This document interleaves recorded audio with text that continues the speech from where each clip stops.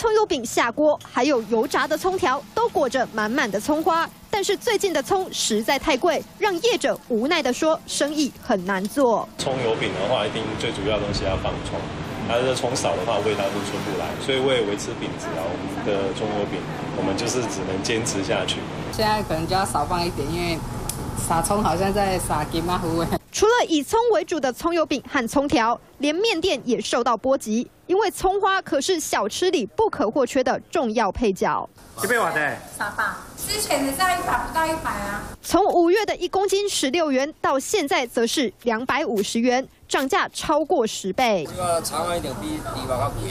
阿拉讲啊，阿拉讲，一百啊件就五十啊。为什么涨那么多？原来是这样的原因。半夜下雨，白天出太阳，所以导致青葱有腐烂的情况。一大片葱田在冬天一分地能产两公吨，但在夏天因为天气湿热，一分地只能产一公吨。